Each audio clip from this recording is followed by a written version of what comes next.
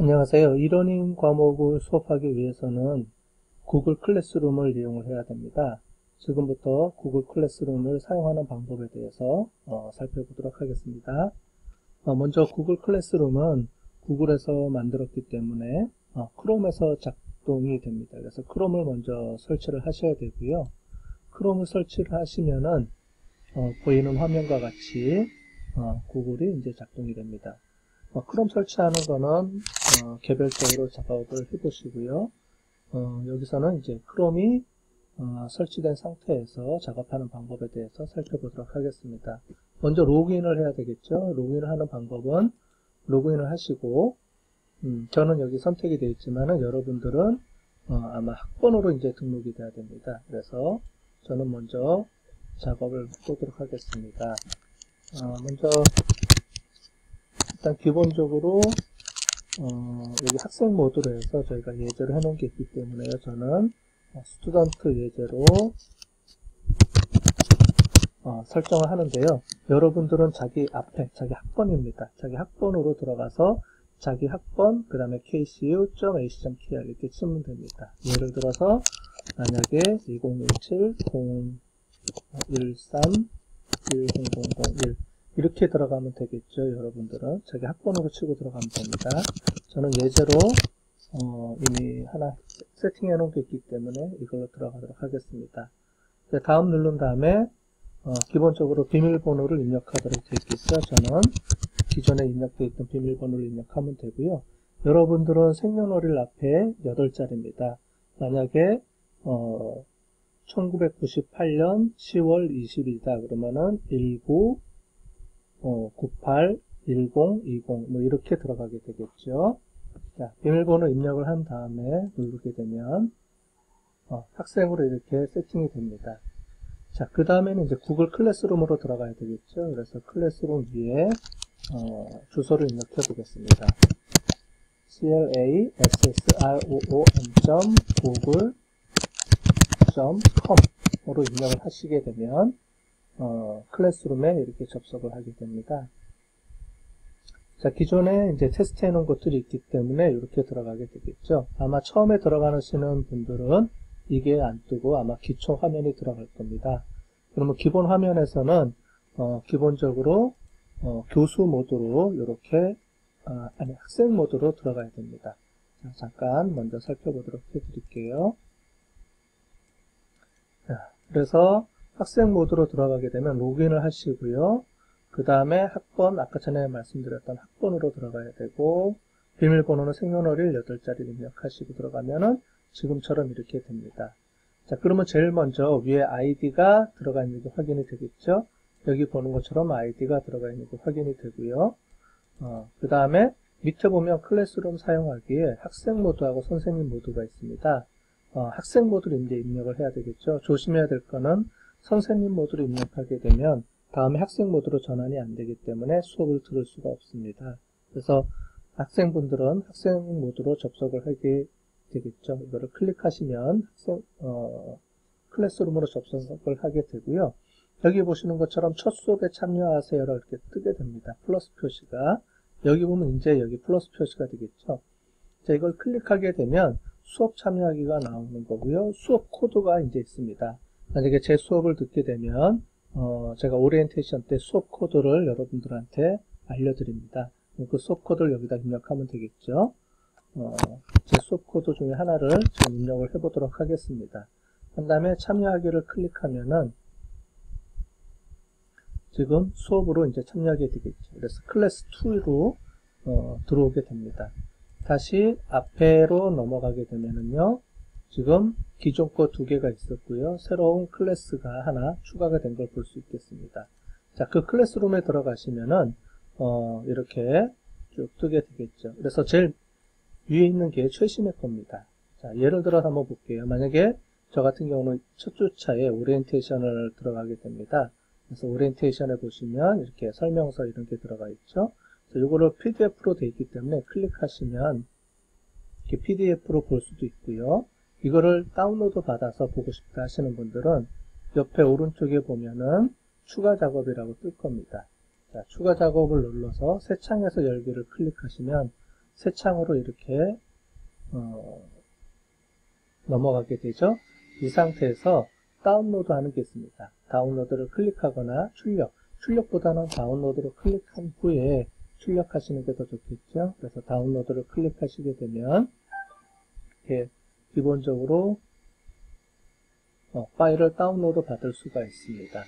그렇게 해서 다운로드 받은 파일을 클릭해서 사용하시면 되겠습니다. 자, 그 다음에 여기 보시는 것처럼 이제 왼쪽에 보면 이제 주차별로 이렇게 세팅이 되어 있습니다. 근데 이 주차는 이제 교수님들마다 틀리기 때문에 거기에 맞게끔 세팅을 해주시면 되겠고요. 자, 그래서 기본적으로 이제 1주차에 이렇게 오리엔테이션을 하게 되면 주차를 누르게 되면 1주차만 이렇게 뜨게 되겠죠. 자, 그 다음에 두 번째 2주차 이제 수업으로 들어가 보겠습니다. 수업에 들어가면은 기본적으로 그 수업에 대한 교환이 있습니다. 이제 클릭을 해보면 1주차, 2주차에 처음으로 이제 수업 들어가는 게 내용이 이렇게 뜨겠죠. 어, 그 다음에 저 같은 경우는 이제 그 유튜브에다가 관련된 동영상을 올려놨습니다. 그래서 이걸 클릭하시면 관련된 동영상을 이렇게 시청하실 수가 있습니다. 지금 아마 소리는 안 들릴 겁니다. 그래서 어, 수업을 들으시고 이제 수업을 이제 종료하시면 되겠죠. 자 이렇게 수업을 들으신 다음에는 그, 그 일정 기간 동안에 퀴즈를 이제 풀어주게 됩니다. 어, 그래서 어, 그 주차에 들은 수업에 대해서 최종적으로 퀴즈를 통해서 그 수업을 제대로 들었는지 안 들었는지 확인을 할 수 있게 되고요. 어, 제 수업 같은 경우에는 출석 체크를 이 퀴즈를 냈는지 안 냈는지에 따라서 출석 체크가 들어갑니다. 자, 퀴즈가 나가면 이제 여기 보면은 날짜가 있겠죠. 그래서 마감 날짜가 있으니까 그 마감 날짜를 정확하게 지켜서 그 마감일 이전에 제출하시기 제출하시면 되겠습니다. 그래서 퀴즈 들어가시면은 이 퀴즈 문제를 클릭하시면요. 엑셀로 이렇게 적용을 하게 됩니다. 이 안에서 작업을 하시지는 마시고 아까 전에 설명드렸다시피 이 파일을 다운로드 받은 다음에 하시기 바랍니다. 자, 그래서 새 창으로 열게 해서 넘어가시고 자, 넘어가셨으면 이 파일을 다운로드를 받습니다.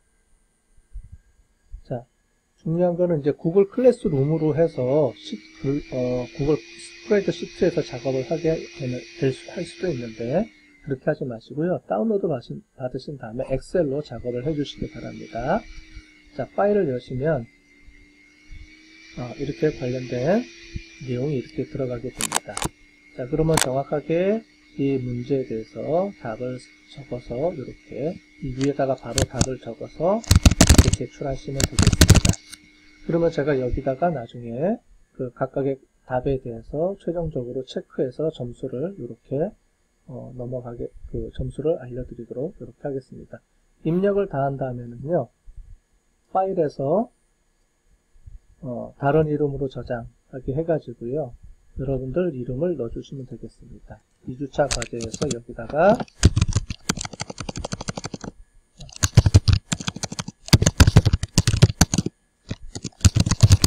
자기 이름을 이렇게 어, 넣고 저장하시면 되겠죠. 자, 이렇게 입력한 상태에서 자, 과제를 완성하셨으면 자, 열기 들어가셔서 퀴즈로 들어가시고요.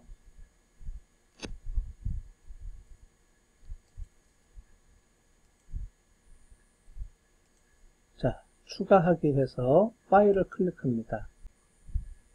자, 파일을 클릭하게 되면 파일 첨부하기가 되어 있습니다. 자, 그러면 기존의 컴퓨터에서 아까 전에 저장된 파일을 들어가서 지금 만들었던 문제 푼 문제 있죠?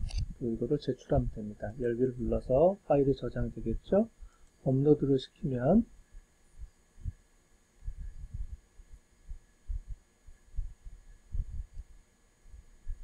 자, 그러면은 파일이 입력이 됐습니다. 자, 문제를 다 푼 다음에 이렇게 입력한 다음에 제출을 클릭하시면 됩니다. 제출을 과제를 제출하시겠습니까? 돼 있죠. 그래서 제출 버튼을 누르게 되면 완료라고 뜨게 되겠죠. 그러면 교수 모드에서 저한테 제가 문제 들어, 어, 문제 제출한 거를 보- 볼 수가 있습니다. 자, 그러면은 교수 모드에서 제가 다시 한번 확인하고 그 다음에 다시 또 넘어오도록 하겠습니다.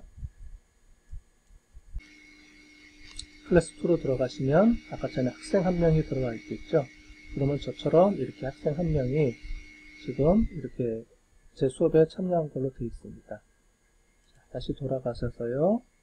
자, 2주차 들어가시면은 퀴즈에 들어가면 이렇게 어, 조금 전에 제출한 학생 한 명이 어, 되어 있습니다. 자, 제가 이걸 본 다음에 여기에 성적을 부여해서 이제 입력을 할 수 있게 됐습니다. 자, 그러면 여기다가 이제 퀴즈 점수를 이렇게 입력하고요. 제가 어, 여러분들을 점수를 체크해서 이렇게 10점 만점에 이렇게 10점을 주게 된 다음에 그 다음에 돌려주기라는 것을 클릭하게 되겠습니다. 돌려주기를 클릭하면 10점이라고 이렇게 제가 어, 채점한 상태에서 이제 이렇게 입력을 하게 됩니다.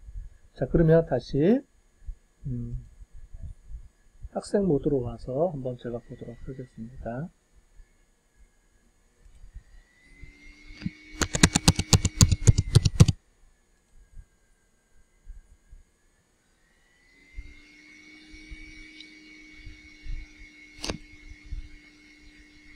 자, 2주차 들어가 보시면 반환됨이라고 이제 바뀌었을 겁니다. 뭐냐면은 교수가 성적을 그 시험 문제를 채점해서 그 성적을 어 이제 알려주게 된 겁니다. 자, 들어가서 볼게요.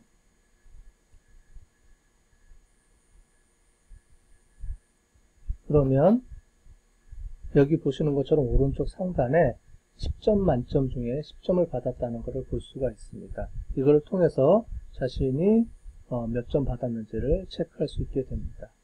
자, 지금 보는 것처럼 수업은, 저희 수업은 이제 1원인 수업으로 진행이 될 거고요.